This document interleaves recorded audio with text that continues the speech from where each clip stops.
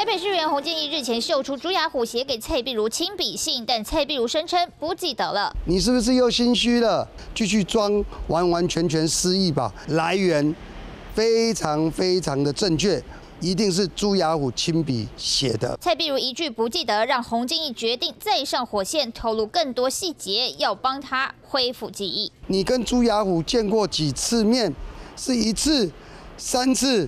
六次还是十次，在哪里呢？在市长室对面的顾问办公室里面。我手上还有你手谕的资料，你赶快告我吧。洪建义再报蔡碧如、朱雅虎多次见面，更紧咬蔡碧如收了手写信之后，还下了手谕，帮忙促成金华城后续陈情会议。而信件上头八月三号后约时间，疑似就是蔡碧如亲自指示。八月三号之后约时间。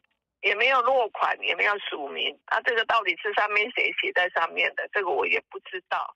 我照样告，不是你蔡碧如，就是你蔡碧如交代你的秘书做。蔡碧如，蔡姐，不要再说谎了。到底你在这个角色里面扮演的是什么样？尽管蔡碧如对爆料否认到底，洪金声称手上还握有更多资料，就等蔡碧如提告时刻，双方法院见真章。三选蔡玉之后，采用台北怎么了？